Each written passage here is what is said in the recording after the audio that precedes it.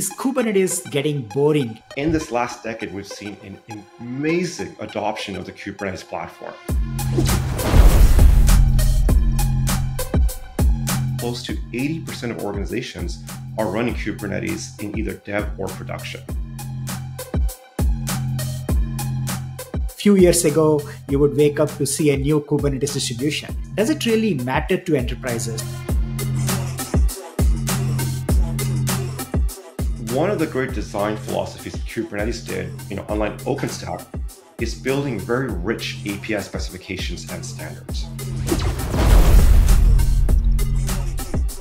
You cannot expect it to underline change major aspects. Everything that I mentioned, Johnny, is something actually that we work very closely with Intel on called a secure edge native architecture. You start securing the stack all the way from the processor? Everything. If the chain in the beginning is broken, there's no way to verify that the actual tail end of your application is also secure. Ladies and gentlemen, welcome Saad Malik.